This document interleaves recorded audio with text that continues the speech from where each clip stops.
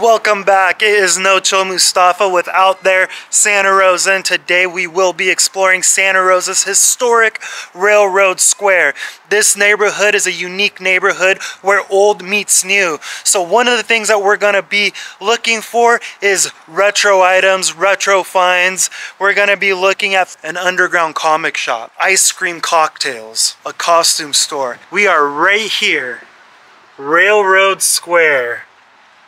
And this is actually the visitor center.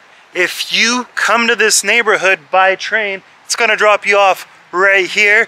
And then you have all of this to explore. One of the first things you'll probably see is Hotel La Rose, one of the oldest buildings in Santa Rosa. There's just so much to explore here, so much history.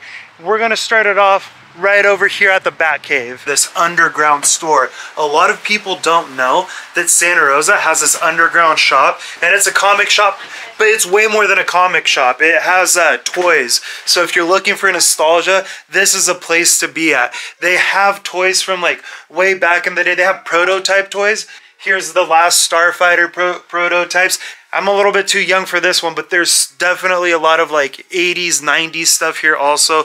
Look at all these comics.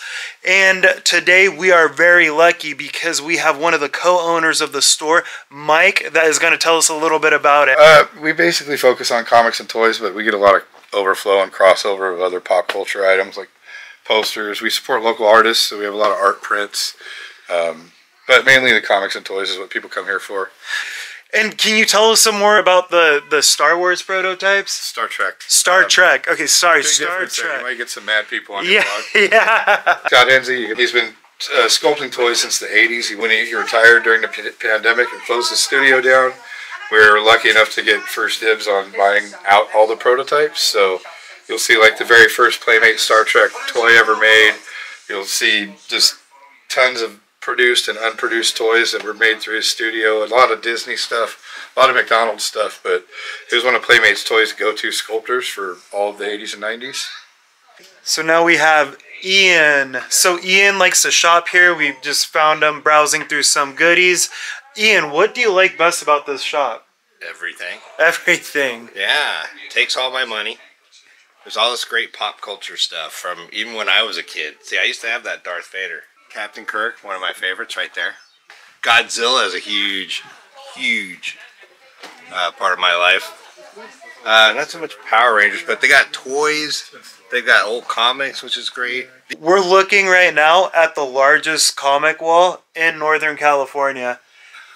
Arguably the largest selection of comics in Northern California. And we're standing right here in front of it. Look, the wall just keeps on going. They got stuff from the 1940s all the way up until now.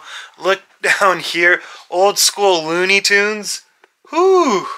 After leaving the Batcave, we're gonna head over to Whistle Stop Antiques. Here we are inside Whistle Stop Antiques, Santa Rosa's top antique shop and there's a bunch of people here so I'm kind of trying to keep my voice down but there's three things that attract people to the store from all over the place. People travel to this shop in Santa Rosa to get Bakelite jewelry. They have a wide selection of Bakelite jewelry. If you don't know what Bakelite jewelry is it's like one of the first plastics ever made. They made it into jewelry and you could buy it here but here we have the second most sought after item here at this store and that is these uh, metal signs, these old retro metal signs. We Here we have an old school Coca-Cola, pickle, and their top selling sign is this one right here.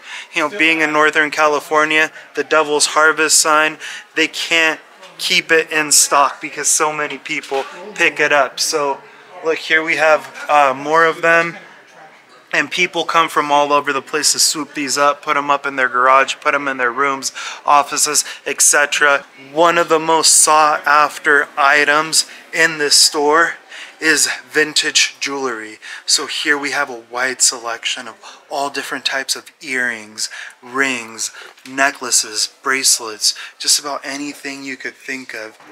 If you're feeling hungry, you can't go wrong with any restaurant on Railroad Square. However, one of the most popular is right here, Grossman, a deli. We made it inside Grossman's and we're in luck because not only do we have Ian here again, but we have the chef. So Hello. what what makes uh, Grossman so special? Uh, Grossman's is just awesome. Great food, great vodkas, great knishes. What's your what's your favorite jelly. what's your favorite dish here? My favorite dish is the kreplach. The Chicken kreplach? or a pastrami Reuben or a wine burger. Totally delicious. So it sounds like they have a lot of awesome food here. So we have the general manager now, and he is going to tell us about all the secret little friends references. All right, so it's the owner's favorite TV show, and they've got some memorabilia all over the place. You can see Moo Point on the wall over here is a reference to a Friends episode. We have Stanley the monkey up in the window here. Joey doesn't share food is a direct quote from a Friends episode also, and then we got the Pat the Dog cocktail.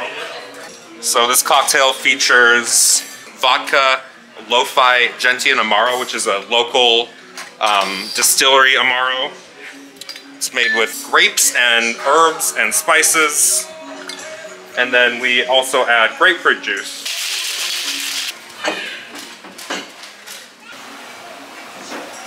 There it is. At a dog. Okay. So we got the Friends cocktail right here. We're gonna have Ian try it. You're a taste tester today, so It's pink. It's grapefruit. Oh, okay. I'm not highly allergic to grapefruit, so that's a good thing. well, that's pretty good. if you're exploring the area and you get hungry, make sure you come by. Great food, great drinks. Or if you're just a fan of the show Friends, so many Friends references. See how many Friends references you can find in this restaurant and leave them in the comments. Santa Rosa is known for its beer, but you can also wine taste right here on 4th Street at 4th Street Cellars. And if you mention out there Santa Rosa, you can get two for one tasting. So make sure you stop by and mention out there Santa Rosa. Coming up, we have some handmade ice cream. What if I told you that you can get ice cream cocktails in Santa Rosa here at Nimble and Finn's? They literally have exactly that. They're ice cream cocktails. So it's it's like a imagine like a root beer float but made with actual alcohol. If you've never tried an ice cream cocktail, make sure you come over here to Nimble and Finn's right here on 4th Street on historic Railroad Square. Looks like the sun came back out. That concludes today's vlog. Remember, like, subscribe, share, let all your friends know.